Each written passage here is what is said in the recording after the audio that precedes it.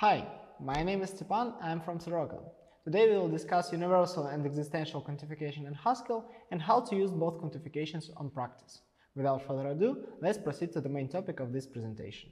We will start with universal quantification because it's the default quantification for every type variable in Haskell. Look at the type of id function. It takes a value of any type and returns the value of the same type. Implicitly, it already have a for all quantifier for a variable. But now let's add it explicitly. The syntax is quite simple. Before you write any function types or constraints, if you have any, write the for all keyword. Then the type variable, a here for example, and the dot at the end. This is how the definition of id looks with an explicit quantifier. If we want to add more type variables, we can define them space separated in the for all part. Uh, write for all, then all type variables introduced in the type of the function, then dot. If you want, you can add some constraints afterwards, and after that, the simple uh, definition of a function. However, note that if you introduce not all type variables in the for all part, it will result in error because the compiler will argue that you need to introduce all type variables you use in the function definition in the for all part. Let's talk about the usage of universal quantification. Well, the benefits of using universal quantification are not obvious because universal quantifier was already there, though it was implicit. However, it has its own meaning and also many Haskell extensions benefit a lot from using universal quantification explicitly. For example, the list of such extensions you can see on the slide. We'll talk about some of them later. The meaning of universal quantification is that the type variable should be specified at the call site. When you call a universally quantified function, you or the compiler should deduce the appropriate type for all type variables. One of the extensions that benefits a lot from using universal quantification explicitly is type applications. It allows you to pass types as function arguments to a function. In order to do that, you need to write add sign and the type which you want to pass.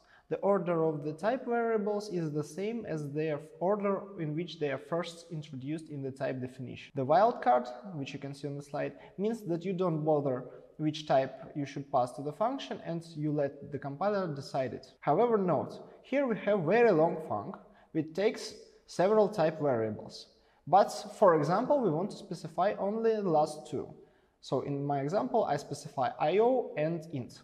However, note that since they are the last type variables in the function definition, you need to pass several wildcard types in order to make this work. It's quite long, right? Using explicit for all and universal quantification allows us to fix the order of type variables and change it without changing the order in the function definition. Now we can specify only two first variables, since they are the necessary for us. While this example is quite unrealistic, at least without any constraints. There are plenty of places where you want to use specific order of type variables for convenience. ScopedTypeVariables is an example of extension that simply won't work without explicit for all. The example on the slide will result in error because the compiler can't match the variable a in the outer function and the variable a in the inner one. Enabling both extensions will negate this problem and allow you to use example as expected. Now turning to existential quantification. There is a tricky thing since both definitions shown on the slide are equivalent from mathematical point of view, Haskell uses for all quantifier even for existentially quantified type variables. Existential quantification can be used both in data types and in functions. We will start with using existential quantification in data types. Here is one example. We have a data type Elem and in the second part of the definition in the constructor, before the constructor, you can see a for all quantifier. This this example of the existentially quantified type variable in the data type definition. Note here that we don't have a variable on the left side of equality sign. This means that we don't bother of introducing the a type variable every time we use Elem. We can use existential quantification in data types, for example, for creating heterogeneous lists. Here, multi-type list uses Elem as the type of the element of the list, but inside every Elem we can store any type we want. However, there are not many things we can do with such list. To print its elements, we need to add a show constraint, but there is no type we can add the constraint to, because the type exists only in definition of Elem. The situation may be improved by adding constraint to a constructor arguments itself since it's the only place where we have a type variable to add constraint to. Note that it's the one of the possibilities to add the constraint to a data type argument, And also it's the only place where we can add the constraint to existentially quantified type variable. The most famous place to use existential types is the so-called sum data types. For example, SomeException. It's the one of the most well-known types used to catch exceptions in the Haskell. It allows you to catch exception of any type. The exception is wrapped inside the SomeException constructor before it's thrown. Now let's unwrap the exception inside. We can do something like this because we can't provide the information about the type inside and compiler will fail with error. Luckily, there is a fromException function that allows you to check the type variable inside and extract appropriate type. In order to explain existential quantifications and functions, we need to briefly introduce extension RankNTypes. By default, Haskell supports only rank 0 types, which are simple monomorphic functions, and rank 1 types, simple polymorphic ones. If we start to take functions as an argument, we will get functions of the higher rank. Existential types are defined as follows. Rank 1 type have a for all that does not appear to the left of any arrow. Here you can see it on the slide. The type variables bound by the for all are universally. Rank 2 types take a type of rank 1, but not higher, as an argument. In other words, they may have for all that appear to the left of exactly one arrow. Similarly, rank 3 types take a type of rank 2, but not higher, as an argument. So what's the difference between existential and universally quantified variables? In general, a rank n type is the function whose highest rank argument is n minus 1. A type variable is universally quantified if it's bound by a for all appearing to the left of an even number of arrows. A type variable is existentially quantified if it's bound by a for all appearing to the left of an odd number of arrows.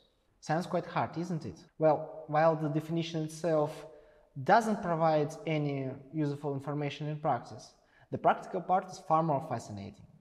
Let's try to get the idea from the example. Here we have a function that while executing produces some logs. The point here is that the func doesn't know where and how the information will be logged. So it takes a login function as an argument. Moreover, we want to log any type that has a show constraint. So what types should the login function have? You may think that it takes a type variable as an argument, produce IO action, and somewhere there should be a show constraint. Sounds fair. However, this implementation won't work. While inferring types for a function in main, the compiler will struggle.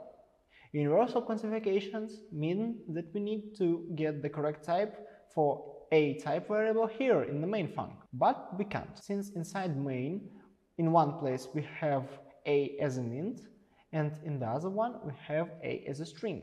Existential quantification, however, means that we need to specify type variables at the use side.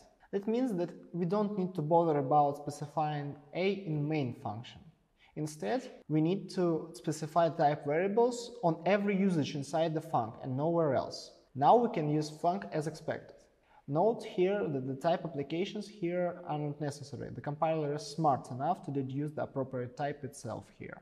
To sum up, we had take a look at Haskell quantification system. Let's repeat what we have learned. All variables are universally quantified by default. Universal quantification allows you to infer types on the call side, meaning that we get concrete types when we call the functions with type variables. Existential quantification, on the other hand, exists both in data types and in functions. In data types, it allows us to hide type variables in functions, it allows us to infer types on the use side when we use existentially typed variable. I hope that the presentation helped you to understand Haskell's quantification mechanism and how to use it in practice. Thank you for watching. If you like to get more tutorials on Haskell or any other type of videos, please uh, subscribe to our channel, click notification button and also comment what you like. Thank you very much. See you soon.